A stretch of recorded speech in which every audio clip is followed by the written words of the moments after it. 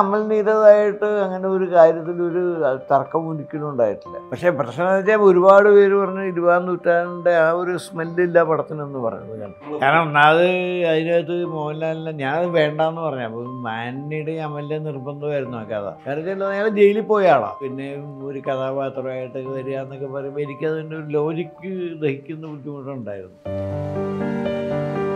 ശ്യാം സാറിന്റെ മ്യൂസിക്കാണ് team music ആദ്യം മ്യൂസിക് വന്നത്. ഞാൻ കേൾക്കുന്നത് ആ സിനിമയിലാണ് ഇരുപതാം നൂറ്റാണ്ടിൽ. അത് നമ്മളത് വേണം എന്ന് അന്ന് ശ്യാംജിയോട് പറഞ്ഞിട്ടില്ല. വാംജിയായിട്ട് സ്വയം ഉണ്ടാക്കിയതാ. സാധാരണ മോഹൻലാലിന്റെ അമ്മ അങ്ങനെ ഒന്നും എന്നോട് പറയേണ്ട കാര്യമില്ല. പടം കഴിഞ്ഞിട്ട് പറയും മോനെ ഒരു കാരണവശാൽ ഈ ക്ലൈമാക്സ് വിട്ടുകൊടുക്കാൻ പാടില്ല കേട്ടോ. ഞാൻ അത്ഭുതപ്പെട്ടു. ഇവർ അങ്ങനെ റിയലിസ്റ്റിക് അല്ല നമ്മൾ ചെയ്ത് ഇത്തിരി പോക്കിരുത്തരവാ നമ്മൾ ഷൂട്ട് ചെയ്തു. ആ. ഷൂട്ട് ചെയ്ത് സെൻസർ കൊടുത്തു. സെൻസർ സമ്മതിച്ചില്ല ഇത് ഇത്രയും മോശമാക്കേണ്ട പോലീസിനെ ഒരാൾ മാത്രത്തിലാണ് കാവ്യമാധവൻ സിനിമ ആദ്യമായിട്ട് അഭിനയിക്കുന്നത്. ആ ഇതിൽ ഏറ്റവും ലാസ്റ്റ് കുട്ടിയുടെ ആ സിസ്റ്റേഴ്സിൽ ഏറ്റവും ലാസ്റ്റ് എന്നും നാഥന്റെ നിമ്മി ആയിരം നാവുള്ള അനന്തൻ കൂടും തേടി അങ്ങനെ കുറച്ച് കുടുംബ സിനിമകളും പ്രേമ സിനിമകളും ഒക്കെ എഴുതിയിട്ടുണ്ട്. ഒരുപക്ഷെ ഇരുപതാം നൂറ്റാണ്ട് കഴിഞ്ഞ് അധികം ശ്രമിച്ചിട്ടില്ല. കാരണം വെച്ചാൽ ഈ ഇരുപതാം നൂറ്റാണ്ട് കഴിഞ്ഞതിന് ശേഷം ആൾക്കാർ എന്നെ കൊണ്ട് വേറെ ഏതോ സംഭവിക്കണ്ടേ? ഇപ്പൊ മൂന്നാം മുറയെ കൊണ്ട് ഞാൻ പാട്ട് വെച്ച് കേൾക്കില്ല സി ബി ഐയിൽ ഞാൻ കൊണ്ട് പാട്ട് വെച്ച് കേൾക്കില്ല സി ബി ഐ ഫൈവ് അത്ര വിജയം നേടിയില്ല. ഇനി അടുത്തൊരു പരീക്ഷണത്തിന് നിൽക്കുമോ സി ബി ഐയുടെ കാര്യം. ഞാൻ സി ബി ഐയെ കുറിച്ച് നിങ്ങൾ ഏതെങ്കിലും ന്യൂസ് ഉണ്ടാകും ഞാൻ ഉത്തരവാദിയല്ല. ഞാൻ ഇതുവരെ അതിനെക്കുറിച്ച് വാ തുറന്നിട്ടില്ല. എനിക്ക് അതിനെക്കുറിച്ച് ഒരു ചിന്ത ഉണ്ടായിട്ട് പോലുമില്ല ഞാനോ എന്നോട് മമ്മൂട്ടിയും പറഞ്ഞിട്ട് ഞാൻ മമ്മൂട്ടിയോടും പറഞ്ഞിട്ടില്ല. എസ് എൻ സ്വാമി സാറാണ് നമുക്കൊപ്പം ഉള്ളത്. നമസ്കാരം സാർ. നമസ്കാരം. സർ നാൽപ്പത് വർഷത്തെ തിരക്കഥാ ജീവിതം കഴിഞ്ഞിട്ട് എഴുപത്തിരണ്ടാമത്തെ വയസ്സിൽ യുവ സംവിധായകനാവാൻ പോവാണ്. ഒരു എക്സൈറ്റ്മെന്റ് അല്ലേ? എക്സൈറ്റ്മെന്റ് എന്ന് പറയാൻ നമ്മൾ ഈ ജോലിയെക്കുറിച്ച് വളരെ സജീവമായിട്ടല്ലെങ്കിൽ പോലും ഈ ജോലി എന്താണെന്നൊക്കെ തുടക്കം വരെ അറിയുന്ന ഒരാളാണ്. ഞാൻ എന്റെ എല്ലാ സിനിമയിലും വളരെ ക്ലോസ്ലി ഇൻവോൾവ് ആണ്. ഇപ്പോൾ ഡയറക്ടർ ആരായിരുന്നാലും ക്യാമറാമാൻ ആരായിരുന്നാലും ബാക്കി ടെക്നീഷ്യൻസ് ആരായിരുന്നാലും ആ ജോലിയുടെ എഴുതി കൊടുത്തിട്ട് പോകുന്നതല്ല. ഞാൻ അതിലൂടെ സജീവമായിട്ട് നിൽക്കും. ഡയറക്റ്റായിട്ടൊരു ഡയറക്റ്റായിട്ട് ഒരു ഇൻവോൾവ്മെന്റ് ഇല്ലെങ്കിൽ പോലും ഒരുമാതിരി കാര്യങ്ങളൊക്കെ എനിക്ക് തുടക്കം മുതൽ അറിയായിരുന്നു. അപ്പൊ യുവ സംവിധായകനല്ല സത്യം പറഞ്ഞു കഴിഞ്ഞാൽ അങ്ങനെ വേണമെങ്കിൽ പറയാം. സാർ ഇപ്പോ ജോഷി സാറിനെ പോലെ ലെജൻസ് സത്യൻ അന്തിക്കാട് സാർ ഒടുവിൽ അമൽ നീരത് വരെ എത്തുന്ന കെ മധു എന്ന് പറയുന്ന ഒരു ലെജൻഡ് ഇവർക്ക് എല്ലാവരും ഉള്ളപ്പോഴും ഇവരോടൊന്നും കഥ പറയണ്ട ഞാൻ തന്നെ പോയി ചെയ്യാമെന്നുള്ള ഒരു തീരുമാനം വരുന്നില്ലേ? അതാണ് എന്നെ എക്സൈറ്റ് ചെയ്യിപ്പിക്കുന്നത്. എന്തുകൊണ്ടാണ് അതായത്. ചില കഥകൾ നമുക്കറിയാം നമ്മൾ ഇത് വേറെ ആളെ ഏൽപ്പിച്ചാൽ ശരിയാവില്ല. അപ്പോൾ കാരണം അതിന്റെ കണ്ടന്റ് മനസ്സിലാക്കി ചെയ്യണം എന്നുണ്ടെങ്കിൽ ഇത്തിരി ബുദ്ധിമുട്ടാണ്. ചില സബ്ജക്റ്റ് കാരണം അത് എന്ത് ബുദ്ധിമുട്ടാണെന്ന് എനിക്ക് എക്സ്പ്ലെയിൻ ചെയ്യാനൊന്നും പറ്റില്ല. കാരണം അങ്ങനത്തെ ഒരു കോംപ്ലിക്കേറ്റഡ് ആയിട്ടുള്ള സബ്ജക്റ്റ് ഒരു ഡയറക്ടറെ ഏൽപ്പിക്കുമ്പോൾ ചിലപ്പോൾ അയാൾക്ക് അത് ഫുള്ളായിട്ട് ചിലപ്പോൾ ഞാൻ അങ്ങനെ നമ്മൾ ഒരു ടെസ്റ്റ് നടത്തിയിട്ടൊന്നുമില്ല. ആരുമായിട്ട് അങ്ങനെ ഡിസ്കസ് ചെയ്തിട്ടൊന്നുമില്ല. അപ്പോൾ ഒരു പക്ഷേ എനിക്ക് തോന്നി ഞാൻ ഇത് ചെയ്യുന്നതായിരിക്കും കുറേ കൂടെ യുക്തി എന്ന്. അങ്ങനെയാണ് ഞാൻ ഇതിലേക്ക് ഇറങ്ങുന്നത്. അല്ലെങ്കിൽ എനിക്കൊരു സിനിമ സംവിധാനം ചെയ്യാൻ ഒരു ബുദ്ധിമുട്ടുള്ള കാര്യമല്ല. എന്ന് വേണമെങ്കിൽ ഒരുപാട് പേര് എന്നോട് നിർബന്ധിച്ചാണ്. ഇപ്പോൾ മോഹൻലാലായാലും മമ്മൂട്ടി ആയാലും ചെയ്യ് ചെയ്യുന്നൊക്കെ പറഞ്ഞാണ്. പക്ഷെ അപ്പം അന്നൊന്നും എനിക്ക് ആ സബ്ജക്റ്റ് അങ്ങനെ ഞാൻ ചെയ്യണം നിർബന്ധം തോന്നിയില്ല. അപ്പം അതുകൊണ്ട് അതിനെക്കുറിച്ച് അന്നും ചിന്തിച്ചില്ലായിരുന്നു. പിന്നതല്ല ഇന്നത് ഞാൻ തന്നെ ചെയ്യണം എന്ന് എനിക്ക് തോന്നാൻ കാരണം ആ സബ്ജക്റ്റിന്റെ ഇമ്പോർട്ടൻസാണ് അപ്പൊ ആ സബ്ജക്ട്സിനെ കുറിച്ച് കൂടുതൽ പറയേണ്ടത് സബ്ജക്റ്റ് എന്ന് പറഞ്ഞാൽ ഇതുവരെ ഈ ലോകത്തിൽ ഒരു ജേർണലിസ്റ്റ് ഈ കടന്നു വന്നറിയാം. എന്റെ അറിവിൽ ഞാൻ ഒരുപാട് അന്വേഷിച്ചാലും സെർച്ച് ചെയ്തതിലൊന്നും ഇങ്ങനൊരു കണ്ടന്റ് സിനിമയായിട്ടില്ല. അതായത് വേൾഡ് സിനിമ വരെ നമ്മൾ നോക്കിയിട്ടുണ്ട്. വേൾഡ് സിനിമ എന്നല്ല നമ്മൾ നമ്മളങ്ങനെ വേൾഡ് സിനിമ പക്ഷേ ഇതിനകത്ത് നമ്മൾ വളരെ ഇതുവരെ ആരും പറയാത്തൊരു പുതിയൊരു കണ്ടന്റാണ് പറയുന്നത്. ഉദാഹരണം പറയാൻ നിങ്ങളിപ്പോൾ ഇവിടെ വന്നു. രജനീഷും ഞാൻ വളരെ ക്ലോസ് ഫ്രണ്ട്സ് ഡെയിലി സംസാരിക്കും കാണും. ഇങ്ങനെയൊക്കെ ഉണ്ടായിരുന്നു. പെട്ടെന്ന് രജനീഷ് കുറേ നാൾ മിസ്സാവും ഒരു കാരണവുമില്ല. അപ്പോൾ ഞാനിങ്ങനെ ആരോടെങ്കിലും പറയുക സ്വയം ഓർക്കുക എന്ത് പറ്റി? പുള്ളി പുള്ളിയെ കാണുന്നില്ല. അങ്ങനെ ഇരിക്കുമ്പോൾ ഒരു കോൾ വരും. കോളിംഗ് ബെല്ല് വരുന്നു. ഇത് നോക്കുമ്പോൾ നിങ്ങളാണ്. ഇത് സാധാരണ ഈ ഒരു അനുഭവം ലോകത്തിൽ എല്ലാവർക്കും സംഭവിച്ചാണ്. നയന്റി നയൻ പോയിന്റ് നയൻ അല്ല ഹൺഡ്രഡ് പെർസെന്റ് ആളുകൾക്കും ഇങ്ങനെ ഒരു എക്സൈറ്റ്മെന്റ് അനുഭവം ഉണ്ടായിരിക്കും. നമ്മൾ വിചാരിക്കുന്നത് അപ്പം കാണുക. എപ്പോഴൊന്നുമില്ല കേട്ടോ. റയറസ്റ്റ് ഓഫ് റയർ സംഭവിക്കും. ഒരുപാട് പേർക്ക് അതിന്റെ റെപ്പിറ്റേഷൻ ഉണ്ടാവും. ഇതിന് നമ്മൾ കാരണം ചോദിച്ചാൽ നമ്മൾ പറയും ഇത് ഒരു കോയിൻസിഡൻസ് നമ്മൾ സാധാരണ കോയിൻസിഡൻസ് ഇല്ലെങ്കിൽ ഒരു ആക്സിഡന്റ് അതും അല്ലെങ്കിൽ ടെലപ്പതി എന്നൊക്കെ പറയാറുണ്ട് ഇന്നത്തെ ജനറേഷനൊക്കെ പക്ഷേ ഇതിന് യഥാർത്ഥത്തിൽ ഒരു വളരെ വളരെ കൃത്യമായ സയൻസ് ഉണ്ടെന്നുള്ളതാണ് നമ്മൾ ഇതിൽ കൂടെ പറയുന്നത്. കാരണം ഇതിനെ കുറിച്ച് കാൾ ഗുസ്താവ് ജംഗ് എന്നും പറഞ്ഞ ഒരു ലോകപ്രസിദ്ധനായ മനഃശാസ്ത്രജ്ഞൻ. സൈക്കോളജിസ്റ്റ് സ്വിസ് സൈക്കോളജിസ്റ്റാണ് അയാൾ ഇതിന് ഇതിനെക്കുറിച്ച് ഒരുപാട് റിസർച്ച് ചെയ്തതിന് കണ്ടു. ഞാൻ സിംഗർണോ സിറ്റി എന്ന് പറഞ്ഞ പേരിട്ടു. സിംഗർണോ സിറ്റി എന്ന് സിംഗർണോ എന്ന് പറഞ്ഞാൽ കണക്ഷൻ ഉണ്ടെന്നൊരു അർത്ഥമുണ്ടല്ലോ. അതെ. വെച്ചിട്ട് പുള്ളി ഒരു സയൻസ് ആണെന്ന് പ്രഖ്യാപിച്ചു. പുള്ളി പറഞ്ഞു ഇതിന്റെ മുഴുവൻ രഹസ്യം കിടക്കുന്നത് ഡി എൻ എയിലാണെന്ന് പറഞ്ഞു. അതായത് ലോകം ഉണ്ടായ മുതൽ അവസാനം വരെ എല്ലാത്തിനും തുടർച്ചയുണ്ടാവും ഒരു കണക്ഷൻ ഉണ്ടാവും. പക്ഷേ ഒരു ഹൺഡ്രഡ് പെർസെന്റോ അങ്ങനെയൊന്നും ആയിരിക്കണമെന്നില്ല. പക്ഷേ എവറിത്തിങ് വിൽ ബി കണക്റ്റഡ്. ആ കണക്ഷന്റെ ഒരു ചെറിയൊരു അംശമാണ്. ഒരു മന്ദരിയാണ് ഈ സിംഗർണോസിറ്റി എന്ന് പറയുന്നത്. അപ്പോൾ ഇത് ഡി എൻ എ ശാസ്ത്രം വളർന്നു വരുമ്പോൾ നാളെ ഇത്തരം കാര്യങ്ങളെക്കുറിച്ച് ജനങ്ങൾക്ക് വളരെ വളരെ കൃത്യമായ അറിവുകളും കൃത്യമായ അനുഭവങ്ങളും ഉണ്ടാവും. മനസ്സിലാവും. വളരെ കോമൺ മാൻ പോലും മനസ്സിലാവും. നമ്മളിപ്പോൾ ആ സയൻസിനെ കുറിച്ച് പഠിച്ചു മനസ്സിലാക്കേണ്ട നിർബന്ധമില്ല. അല്ലാണ്ട് പോലും മനസ്സിലാവും. പക്ഷേ ഇത് ഇത്തരം വിഷയങ്ങളെ കുറിച്ചിട്ട് നമ്മുടെ മതപരമായ ശാസ്ത്രങ്ങൾ പറഞ്ഞിട്ടുണ്ടായിരുന്നു നിമിത്തശാസ്ത്രം എന്നും പറഞ്ഞിട്ട് ജ്യോതിഷുമായിട്ട് ബന്ധപ്പെട്ട ഒരു ഗ്രന്ഥമുണ്ട്. കിസ്മത്ത് എന്നും പറഞ്ഞ് ഖുറാനുമായിട്ടൊരു ബന്ധമുണ്ട്. പിന്നെ വെളിപാടുകൾ എന്നും പറഞ്ഞ് ക്രിസ്ത്യൻ രീതിയായിട്ട് ബന്ധമുണ്ട്. ഇതെല്ലാം പറയുന്നത് ഈ മുൻപ് സംഭവിച്ചതും തുടർന്ന് സംഭവിക്കാൻ പോകുന്ന നമ്മൾ കണ്ടതും കേട്ടതും ഇങ്ങനത്തെ ഒരുപാട് കാര്യങ്ങൾ തമ്മിൽ ബന്ധമുണ്ടെന്ന് സൂചിപ്പിക്കുകയും പല ബന്ധങ്ങൾക്ക് അർത്ഥം കൽപ്പിക്കുകയും ചെയ്യുന്ന ശാസ്ത്രങ്ങളായിരുന്നു ഇത്. പക്ഷെ അതിന്റെ മോസ്റ്റ് സയന്റിഫിക് ആണ് ഈ സിംഗർണോസിറ്റി എന്ന് പറയുന്നത്. അപ്പോൾ ഇതിനെ നമ്മൾ കഥയിലേക്ക് ഭയങ്കര കഥ ഈ ഇതല്ല ഇതാണ് നമ്മുടെ ഉള്ളിൽ കിടക്കുന്ന കണ്ടന്റ് തോട്ട് ആ. പക്ഷേ ഇത് കഥയിൽ അങ്ങനെ വളരെ പ്രകടമായിട്ടല്ല കാണുക. പക്ഷെ ഇതാണെന്ന് മനസ്സിലാവും. അതായത് ഒന്ന് ഒന്നിനൊന്ന് വേറൊന്ന് ബന്ധപ്പെട്ടതാണ്. എന്ന് മനസ്സിലാവും. അങ്ങനെ ഒരു കണക്ഷൻ അപ്പം നമ്മൾ ഒരു ബന്ധമില്ലെങ്കിൽ നമ്മളതിന് വിധി എന്ന് പറയും. ഫെയ്ത്ത് എന്ന് പറയും. കാരണം നമുക്ക് ഉത്തരം കണ്ടുപിടിക്കാൻ പറ്റാത്തതാണ്. ഉത്തരം കണക്ക് കണ്ടുപിടിക്കാൻ പറ്റാതെ നമ്മൾ എന്ത് പറയും? അതൊരു വിധി. അൺഫോർച്ചുനേറ്റ് വിധി. ഇല്ലെങ്കിൽ അങ്ങനെ പല കാരണങ്ങളും പറയും. പക്ഷേ അന്വേഷിച്ചാൽ അതിനും കാരണം കണ്ടെത്താം. അല്ലെങ്കിൽ ആ കാരണം പക്ഷെ കാരണം കണ്ടെത്തിയാലുള്ള ഗുണം ഒരുപാട് പേർക്ക് ഒരുപാട് കാര്യങ്ങൾ അവോയ്ഡ് ചെയ്യാൻ പറ്റും. ഇതിനെ ഒരു ത്രില്ലിംഗ് രീതിയിലായിരിക്കും സാർ ഇതൊരു ത്രില്ലായിട്ട് വരും. ഇല്ലെങ്കിൽ ഇതിന്റെ ഈ വിഷയം ആണ് നമ്മുടെ ഉള്ളിൽ കിടക്കുന്നത്. നമ്മൾ ഇത് വെച്ചിട്ടാണ് ഈ സിനിമയുടെ ഓരോരോ കാര്യങ്ങൾ നമ്മൾ വർക്കൗട്ട് ചെയ്തിരിക്കുന്നത്. ഇതിന്റെ മോഡ് ഓഫ് ത്രിൽ മനസ്സിലായില്ലേ. പക്ഷേ ഇതിനകത്ത് പോലീസോ അന്വേഷണമോ കൊലപാതകമോ ഒന്നുമില്ല. ഈ ധ്യാൻ ശ്രീനിവാസൻ ഈ സിനിമയിൽ അഭിനയിക്കുന്നതിനെ കുറിച്ചുള്ള സന്തോഷം പറഞ്ഞപ്പോൾ ഞാനൊരു ചരിത്രത്തിന്റെ ഭാഗമാവാൻ പോവാണ്. സാർ ആദ്യമായിട്ട് സംവിധാനം ചെയ്യുന്ന ചരിത്ര ചിത്രത്തിന്റെ ഭാഗമാണെന്ന് പറഞ്ഞില്ല? അതെനിക്കറിയില്ല. അത് ഞാനല്ല എന്റെ സിനിമ കണ്ടിട്ട് മറ്റുള്ളവർ ഇത് ശരിക്കും പറഞ്ഞാൽ ഈ സംവിധാനത്തിന്റെ ഒരു മേജർ ക്രെഡിറ്റ് എന്റെ മകനുള്ളതാണ്. കാരണം അയാളാണ് കൃഷ്ണൻ. ആയിരുന്നു കംപ്ലീറ്റ് ഇത് ഓപ്പറേറ്റ് ചെയ്തത്. I was there as a guide and guidance.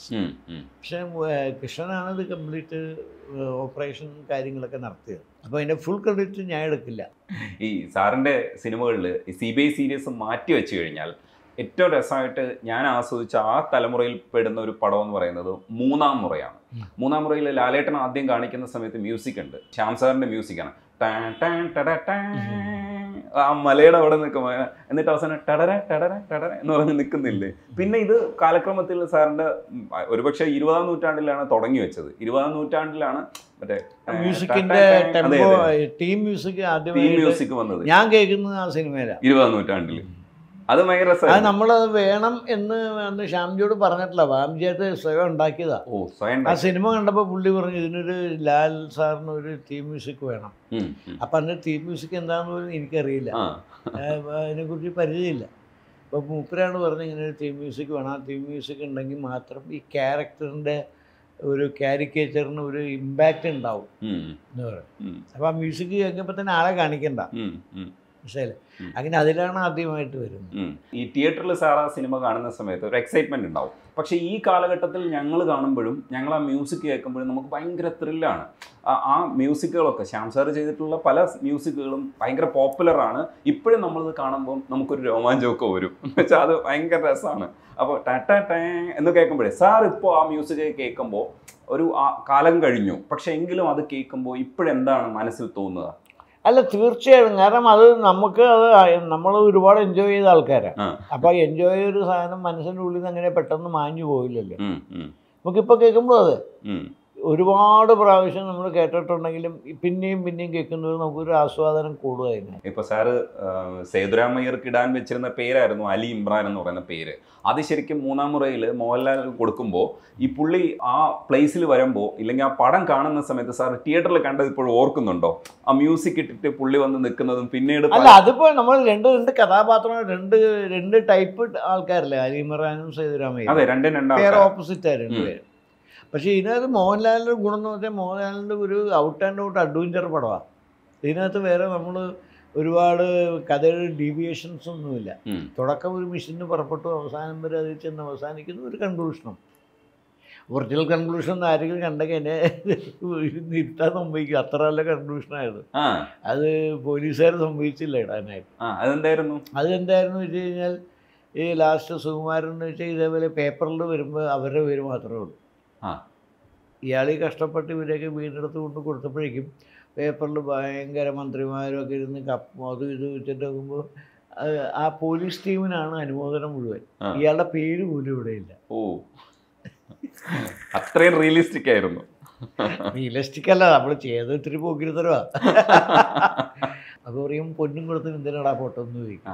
അപ്പൊ ഇതാരാ? മധുസാറാണോ പറഞ്ഞ വേണ്ടെന്ന് പറഞ്ഞത്? അല്ലല്ല നമ്മൾ ഷൂട്ട് ചെയ്തു. ആ. ഷൂട്ട് ചെയ്ത് സെൻസർ കൊടുത്തു സെൻസർ സമ്മതിച്ചില്ല ഇത്രയും മോശമാക്കേണ്ട പോലീസിനെ എന്ന് അങ്ങനെ ഒരു കഥയുണ്ട് അതിന്റെ പിന്നിൽ. പക്ഷെ അത് നമുക്ക് ഒന്നും ചെയ്യാൻ പറ്റിയില്ല.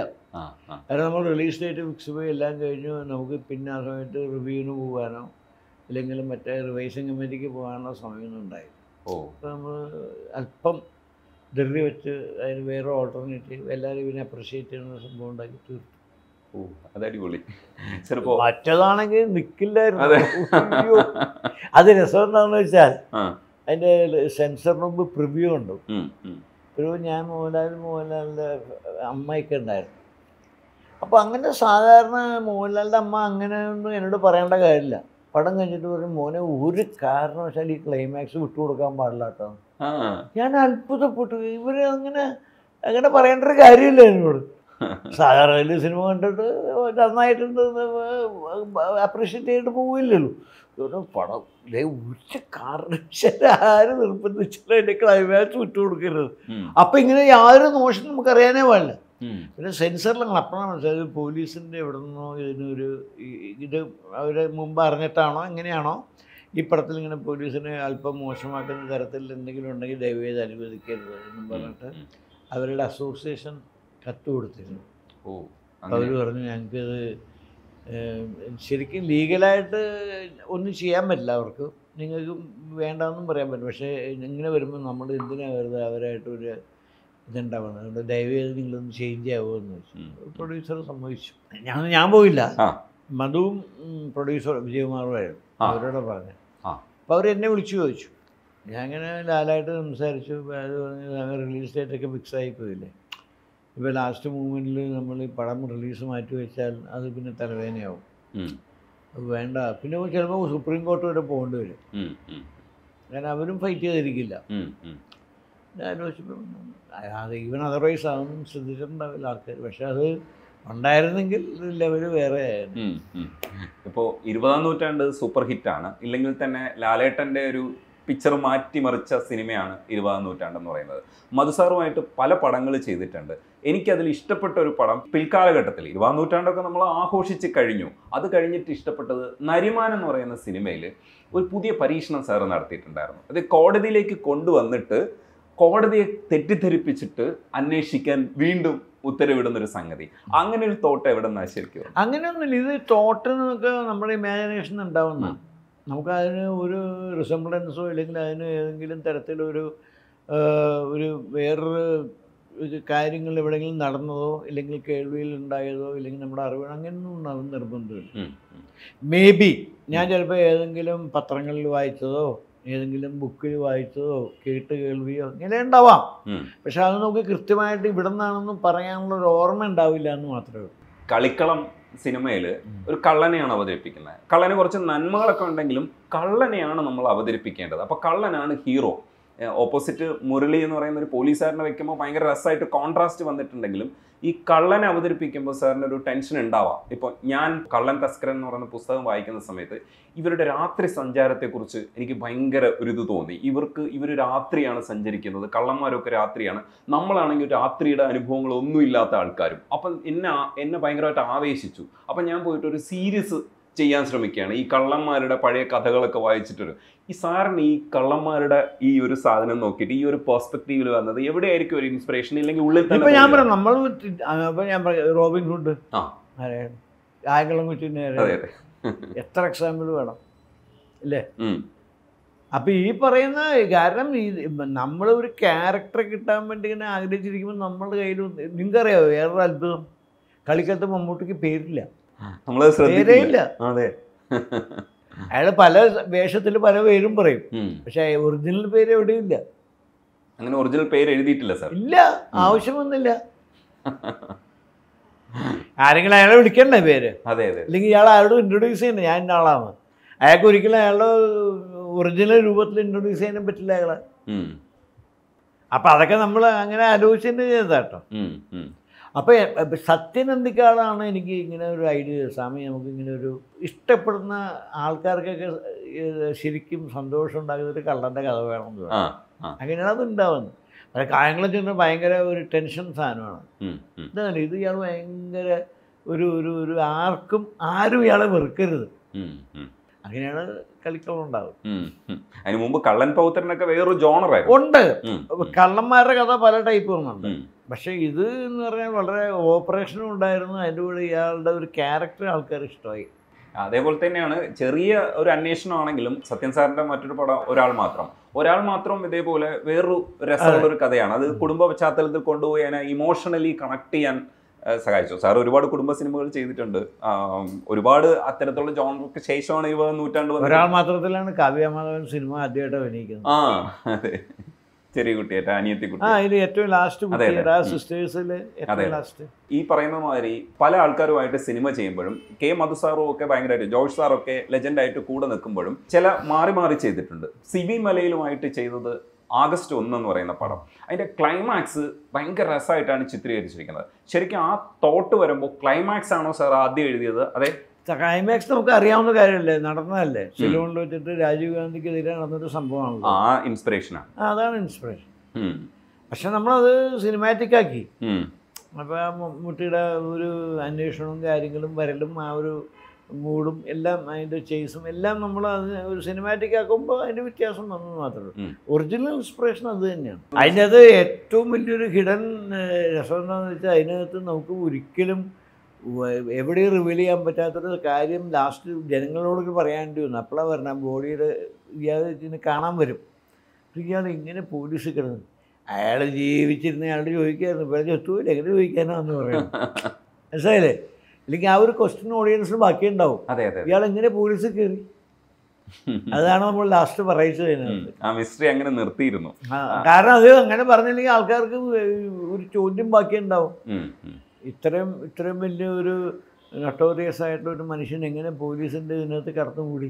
ആഗസ്റ്റ് ഒന്നിന്റെ ക്ലൈമാക്സ് എന്ന് പറയുന്നത് കുറച്ച് ലെങ്ത് ഉള്ള ക്ലൈമാക്സ് ആണ്.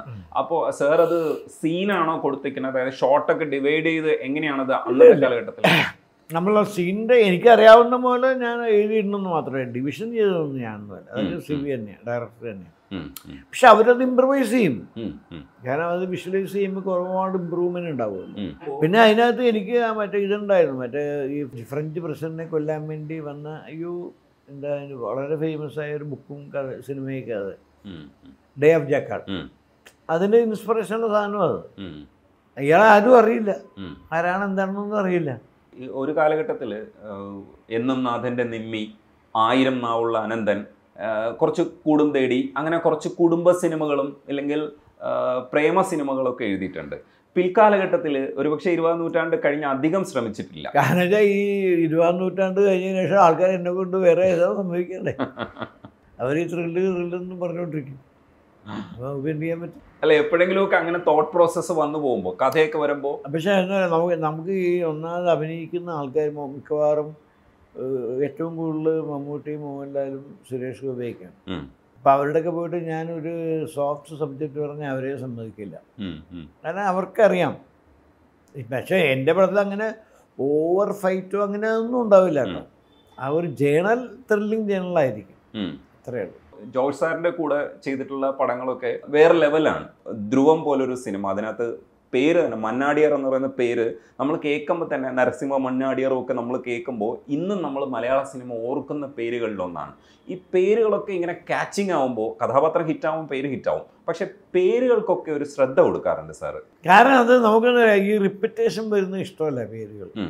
നമ്മൾ കാരണം പറഞ്ഞാൽ ഞാൻ പ്രസന്റ് ചെയ്യുന്ന അവർ എത്രയോ കഥാപാത്രങ്ങളായി.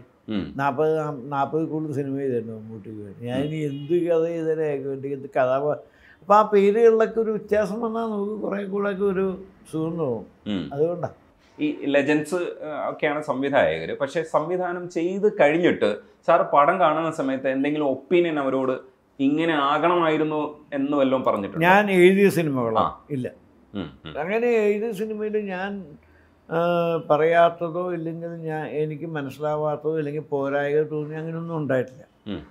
അതിൽ കുറവുണ്ടെങ്കിൽ അതിന് കാരണക്കാരൻ ഞാൻ തന്നെയാണ് കൂടുതലുണ്ടെങ്കിലും കാരണക്കാരൻ ഞാൻ തന്നെയാണ്. അപ്പം അതൊന്നും ഞാൻ അവകാശപ്പെടാത്തതുകൊണ്ട് എനിക്കത് വിഷയമല്ല ഈ പേരിടാത്ത സിനിമയെക്കുറിച്ച് സംസാരിക്കുന്ന സമയത്ത് മകനുമായിട്ട് നിൽക്കുന്ന സമയത്ത് മകൻ വേറൊരു ജനറേഷനാണ് അച്ഛൻ എക്സ്പീരിയൻസ്ഡ് ആയിട്ടുള്ള മറ്റൊരു ജനറേഷനിലുള്ള ആൾ. കമ്മ്യൂണിക്കേഷൻ പ്രോപ്പർ ആയിരിക്കണം. എങ്ങനെയാണ് കമ്മ്യൂണിക്കേഷൻ അതായത് നമ്മളിപ്പോൾ ഈ ഇവരുടെ ഒരു പ്രശ്നം എന്ന് വെച്ചാൽ അവർ മുമ്പത്തെ പോലെ നമുക്കൊരു ഈ വൺ മാൻ ഇമ്പോർട്ടൻസ് അവരധികം ശ്രദ്ധിക്കില്ല. ഇപ്പോൾ അവരെ സംബന്ധിച്ച് കഥ പറയാൻ ഇഷ്ടമാണ്. കഥ പറയുന്ന രീതി ഇഷ്ടമാണ്. പക്ഷേ അതിനകത്ത് നമ്മളെപ്പോലെ ഒരു ഹീറോയിക് ഇത് കൺസെപ്റ്റിന്റെ പുറകെ അവർ നിൽക്കില്ല ഓ. അതാണ് ഇന്നത്തെ ന്യൂ ജനറേഷന്റെ ഒരു പ്രധാന അത് നല്ല കാര്യമാണ് കാരണം നമുക്കത് പറ്റിയിരുന്നില്ല. അപ്പം അങ്ങനെ എന്റെ കഥയിൽ അതിന്റെ ആവശ്യമില്ലായിരുന്നു. ഇതിനകത്ത് ആവശ്യമുണ്ടെങ്കിൽ പോലും അത് ധ്യാൻ ശ്രീനിവാസനെ പോലെ ഒരു ജസ്റ്റ് അപ്കമ്മിങ് ആർട്ടിസ്റ്റ് ആയതുകൊണ്ട് നമുക്ക് അതിനകത്ത് ഒരു ബുദ്ധിമുട്ട് തോന്നിയിരുന്നില്ല. അപ്പോൾ അയാൾ കാണിക്കുന്ന ഹീറോയിസം അവരുടെ കൺസെപ്റ്റ് കറക്റ്റായിരുന്നു ആയിരുന്നു. അപ്പം ഓക്കെ ആണ് കമ്മ്യൂണിക്കേഷൻ ഓക്കെ ആയി. ആ പലപ്പോഴും ഈ പാട്ടുകൾ പൊതുവിൽ ഈ തിരക്കഥകളിൽ ഒരുപക്ഷെ എങ്ങനെയാണ് ഇൻകോപ്പറേറ്റ് ആയെന്ന് അറിഞ്ഞൂടെ. സംവിധായകരാണോ സജസ്റ്റ് ചെയ്തിട്ടുള്ളത്. അപ്പോൾ പല കഥകളിലും ത്രില്ലിംഗ് ആണ്. ത്രില്ലിങ്ങിൽ പലപ്പോഴും പാട്ട് ആവശ്യമില്ല. പക്ഷെ അടിപൊളിയായിട്ടുള്ള പാട്ടുകളൊക്കെ വന്നിട്ടുണ്ട്. അപ്പം ഡിസ്കഷനിൽ എവിടെയൊക്കെ അത് എങ്ങനെ നമുക്ക് ഈ കഥ എഴുതി വരുമ്പോൾ എവിടെയെങ്കിലും ഒരു പാട്ട് വേണമെന്ന് നിന്നൊരു തോന്നൽ വരണം. അത് ഇമ്പോർട്ടന്റാണ് ഇപ്പം മൂന്നാം മുറയെ കൊണ്ട് ഞാൻ പാട്ട് വെച്ച് കേൾക്കില്ല സി ബി ഐയിൽ ഞാൻ കൊണ്ട് പാട്ട് വെച്ച് കേൾക്കില്ല. കേൾക്കില്ല.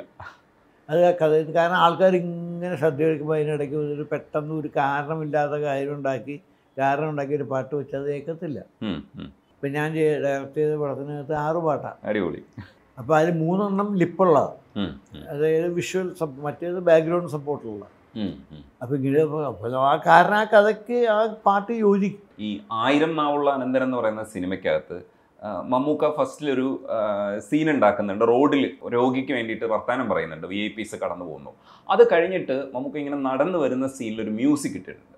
സത്യത്തിൽ ആ മ്യൂസിക് ഭയങ്കര ത്രില്ലിംഗ് ആണ്. പിൽക്കാലഘട്ടത്തിൽ കമ്മീഷണറിലൊക്കെ നടക്കുന്നില്ലേ അതേമാതിരി ഒരു മ്യൂസിക് ഇട്ടിട്ടുണ്ട്. പക്ഷെ അന്ന് ആ സിനിമയിൽ ഒരു പക്ഷേ ശ്രദ്ധിച്ചിട്ടുണ്ടാവില്ല. നമ്മൾ റീവാച്ച് ചെയ്യുമ്പോൾ ആ സിനിമയിൽ അങ്ങനെ മ്യൂസിക് ഇട്ട് മമ്മൂക്ക നടന്നു പോവാണ് നിങ്ങൾ പറയുമ്പോഴാണ് ഞാൻ എനിക്ക് അതിന് അങ്ങനെ ഒരു ചിന്ത അങ്ങനെ ഓർമ്മ തന്നെ വരുന്നത് അങ്ങനത്തെ സംഭവത്തിന്റെ കാര്യം. അതെ പല സിനിമകളിലും നമ്മൾ ബാക്കിലോട്ട് ചിന്തിക്കുമ്പോഴാണ് ഇന്നത്തെ പല കാര്യങ്ങളും നിങ്ങൾ പണ്ടേ ചെയ്തു വെച്ചിട്ടുണ്ട്. അവിടെയാണ് നമ്മൾ ബാക്കി ന്യൂജൻ ആൾക്കാരും ഒക്കെ വരുന്നതെന്നുള്ളതാണ്. അപ്പം ഈ അമൽ നീരതുമായിട്ട് വർക്ക് ചെയ്യുമ്പോൾ വേറൊരു സാധനമാണല്ലോ. ആ പാറ്റേൺ ആദ്യത്തെ സമയത്ത് എങ്ങനെ അക്സെപ്റ്റ് അമൽ നീരതിന്റെ ഒരു ഡയറക്ഷണൽ കാര്യങ്ങളിൽ ഫോട്ടോഗ്രാഫി ഞാൻ ഒന്നും ഇടപെടാറില്ല. കാരണം അവർ അതിനൊക്കെ വളരെ തറവാണ്.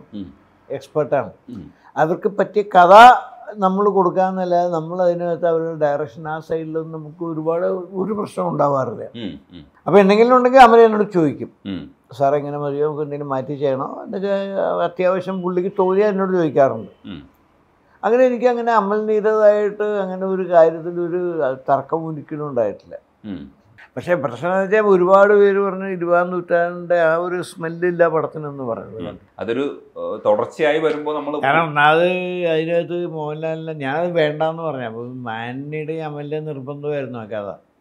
കാരണം വെച്ചാൽ അയാൾ ജയിലിൽ പോയ ആളാണ്.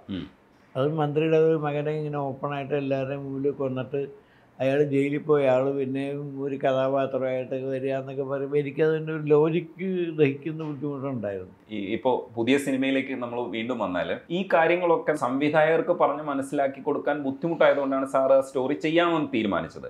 ഇത് ജനങ്ങൾക്ക് വളരെ കൃത്യമായി മനസ്സിലാക്കി കൊടുക്കാൻ കഴിഞ്ഞു എന്ന ആത്മവിശ്വാസം സംവിധാനം ചെയ്ത് കഴിഞ്ഞു. പറഞ്ഞാൽ മതി. ആ അതെനിക്ക്. അല്ല അതുകൊണ്ടാണ് ഈ ജനങ്ങൾക്ക് ഇത് മനസ്സിലാവണം എന്നുള്ളൊരു കാരണം ഉള്ളതാണ് കാരണം ചിലപ്പോൾ എനിക്ക് വേറൊരാൾ ചെയ്താൽ ചിലപ്പോൾ ഇത് പ്രോപ്പറായിട്ട് റീച്ച് ആകുമെന്ന് ഡൗട്ട് ഉണ്ടായിരുന്നു. ഇനി ഇല്ലെങ്കിൽ ഞാൻ പോയിട്ട് വണ്ടമാനം അവരെ നിർബന്ധിക്കണം ഇൻഫ്ലുവൻസ് ചെയ്യണം അവരോട് തർക്കിക്കണം അതൊന്നും ഒരു സിനിമയ്ക്ക് നല്ല കാര്യമേ അല്ല. അപ്പം അതിലും ഭേദം എനിക്കിത് ഞാൻ പ്രോപ്പറായിട്ട് എഴുതി ഞാൻ ചെയ്യുകയാണെങ്കിൽ എനിക്ക് തോന്നി ഇതായിരിക്കും കുറേ കൂടെ കമ്മ്യൂണിക്കേറ്റീവ് എന്നും പറഞ്ഞു. സി ബി ഐ ഫൈവ് അത്ര വിജയം നേടിയില്ല. ഇല്ലെങ്കിൽ മാസമായിട്ട് എല്ലാവരും ആകർഷിക്കാൻ പറ്റിയില്ല. അപ്പോൾ ഇനി അടുത്തൊരു പരീക്ഷണത്തിന് നിൽക്കുമോ സി ബി ഐയുടെ ഞാൻ സി ബി ഐ കുറിച്ച് നിങ്ങൾ ഏതെങ്കിലും ന്യൂസ് ഉണ്ടാകും ഞാൻ ഉത്തരവാദിയല്ല. ഞാൻ ഇതുവരെ അതിനെക്കുറിച്ച് വാ തുറന്നിട്ടില്ല. എനിക്ക് അതിനെക്കുറിച്ച് ഒരു ചിന്ത ഉണ്ടായിട്ട് പോലുമില്ല. ഞാനോ എന്നോട് മമ്മൂട്ടിയും പറഞ്ഞിട്ട് ഞാൻ മമ്മൂട്ടിയോടും പറഞ്ഞിട്ടില്ല. ഞാൻ സി ബി ഐ കുറിച്ച് നിങ്ങൾ ഏതെങ്കിലും ന്യൂസ് ഉണ്ടാകും ഞാൻ ഉത്തരവാദിയല്ല. ഞാൻ ഇതുവരെ അതിനെക്കുറിച്ച് വാ തുറന്നിട്ടില്ല. എനിക്ക് അതിനെക്കുറിച്ച് ഒരു ചിന്ത ഉണ്ടായിട്ട് പോലുമില്ല ഞാനോ എന്നോട് മമ്മൂട്ടിയും പറഞ്ഞിട്ട് ഞാൻ മമ്മൂട്ടിയോടും പറഞ്ഞിട്ടില്ല. ഞാൻ സി ബി ഐ കുറിച്ച് നിങ്ങൾ ഏതെങ്കിലും ന്യൂസ് ഉണ്ടാകും ഞാൻ ഉത്തരവാദിയല്ല. ഞാൻ ഇതുവരെ അതിനെക്കുറിച്ച് വാ തുറന്നിട്ടില്ല. എനിക്ക് അതിനെക്കുറിച്ച് ഒരു ചിന്ത ഉണ്ടായിട്ട് പോലുമില്ല ഞാനോ എന്നോട് മമ്മൂട്ടിയും പറഞ്ഞിട്ട് ഞാൻ മമ്മൂട്ടിയോടും പറഞ്ഞിട്ടില്ല. ഉണ്ടായിപ്പോയി. അതാണ് കാര്യം. അല്ലെങ്കിൽ ആ നമ്പർ ഓഫ് ഡെത്ത് കുറയ്ക്കായിരുന്നു. അത് മാത്രമല്ല എന്റെ ഒരു മൈനസ് പോയിന്റ്. കാരണം ഓരോ ഡെത്തും നമുക്ക് എക്സ്പ്ലെയിൻ ചെയ്യാൻ പറ്റിയിട്ടില്ല അപ്പോൾ ആളുകൾക്ക് പ്രോപ്പറായിട്ട് റീച്ചായില്ല പല സ്ഥലത്തും പിന്നെ ഈ പുതിയൊരു സംഭവമാണ് വളരെ ഹൈടെക് സംഭവമാണ് നമ്മൾ ഈ മർഡർ വെപ്പണായിട്ട് ഉപയോഗിച്ചിരിക്കുന്നത്. ഹാക്കിംഗ് എന്ന് പറയുന്ന സാധനം എന്താണെന്ന് ജനങ്ങൾ മനസ്സിലാക്കി തുടങ്ങിയിട്ടില്ല. അവർ ഈ ഇങ്ങനത്തെ നമ്മുടെ ലാപ്ടോപ്പോ ഇതൊക്കെ ഹാക്ക് ചെയ്തതായിട്ട് അവർ കേട്ടിട്ടുണ്ടെന്നല്ലാതെ സൈറ്റ് ഹാക്ക് ചെയ്യുന്നൊക്കെ അല്ലാണ്ട് ഒരു ഒരാളെ കൊല്ലാനായിട്ട് ഹാക്ക് ചെയ്യാൻ പറ്റും എന്നൊക്കെ പറഞ്ഞ സാധനമൊക്കെ മാധവൻ സാർ ഐ എസ് ഇല്ലേ? ഗവൺമെന്റ്സ് ഗവൺമെന്റ് അയാൾ തന്നെ അതിനൊക്കെ ഡിസ്കസ് ചെയ്തു. ഇതൊക്കെ നടക്കുമോ സയൻസ് നമുക്ക് എന്ത് പറയാൻ പറ്റും? ഇത് നടന്ന സംഭവമാണ് ഒറിജിനലി നടന്ന സംഭവം തന്നെയാണ് പക്ഷെ അവർക്ക് പോലും അത് ഉൾക്കൊള്ളാനോ ഇല്ലെങ്കിൽ അത് ഡൈജസ്റ്റായില്ല അവന് സാധാരണക്കാരന്റെ കാര്യം പറയണം. പിന്നെ ഇതിനകത്ത് വേറൊരു മിസ്റ്റേക്ക് വന്നത് ട്രൂത്തിൽ ലാസ്റ്റ് ഒരു പോലീസ് ഓഫീസറാവില്ല. മുരളിയുടെ ക്യാരക്ടർ.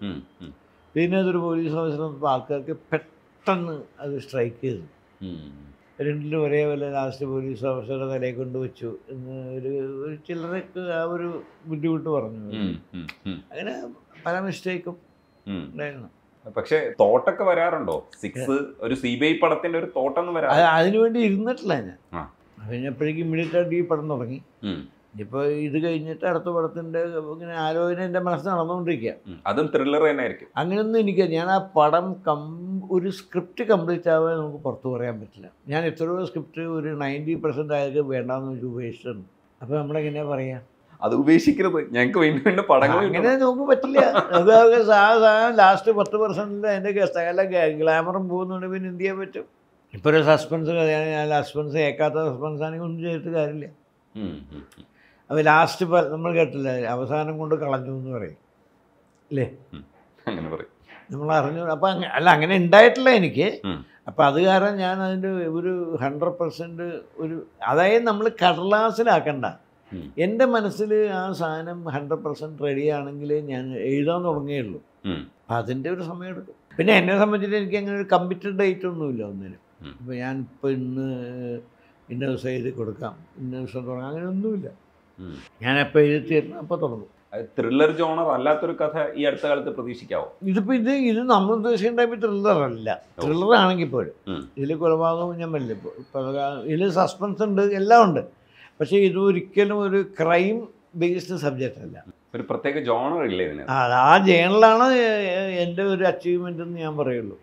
അത് അത് പറയാൻ നമുക്കൊരു ഒരു പറയാൻ പറ്റാത്തൊരു സാധനം നമുക്ക് പറയാൻ സാധിച്ചു എന്ന് പറഞ്ഞാൽ നമ്മളുടെ ഒരു കഴിവല്ലേ? തീർച്ചയായിട്ടും. അതാണ്. ഞങ്ങൾ പ്രതീക്ഷയോടെ കാത്തിരിക്കുന്നു. ധൈര്യമായിട്ടിരുന്നു. സംസാരിക്കാൻ കഴിഞ്ഞ നന്ദിയുണ്ട്. Thank you thank you